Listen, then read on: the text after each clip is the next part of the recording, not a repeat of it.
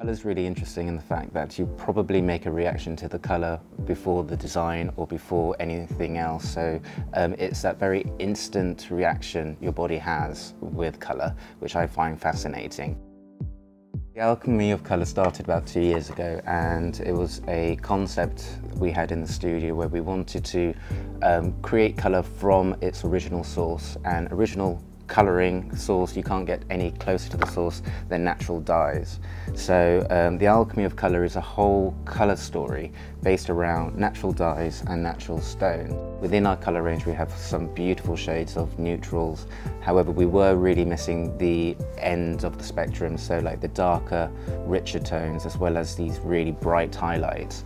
And this has really come from a combination of the Alchemy of Colour workshop, but really a response to this bravery we're feeling with the way people are working with colour. Um, people are really wanting those darker tones to surround themselves with just to frame something really beautiful and highlighting in the room.